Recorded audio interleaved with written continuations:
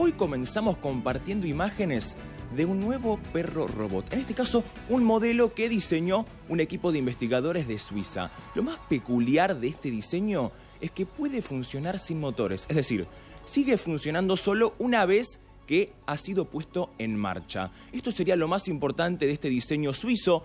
Un equipo de investigadores del Instituto de Investigación EPFL de Suiza creó este robot que como lo vemos circula por una cinta, ya que no tiene motores o los tiene pero no son utilizados hasta el momento, por lo que quieren probar es cuánto puede correr o cuánto puede trasladarse sin la necesidad de utilizar esos motores.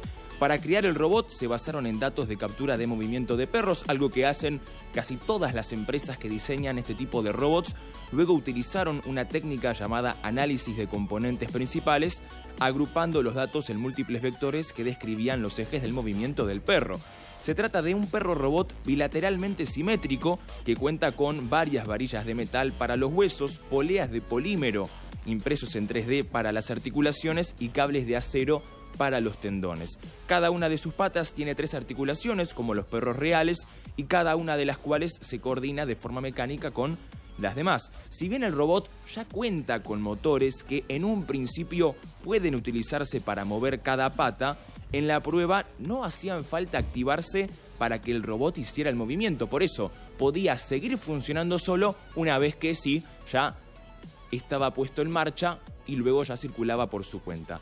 Evidentemente el perro sí usará estos motores en un futuro cercano, no solo para correr, sino que también para saltar algunos obstáculos o sortearlos, pero lo que comentaron desde este equipo de investigadores es que no lo van a lanzar al mercado, no tiene fines comerciales este diseño, sino que es más con fines investigativos, con fines científicos para explorar qué es lo que puede hacer este diseño y hasta dónde puede llegar en un futuro cercano.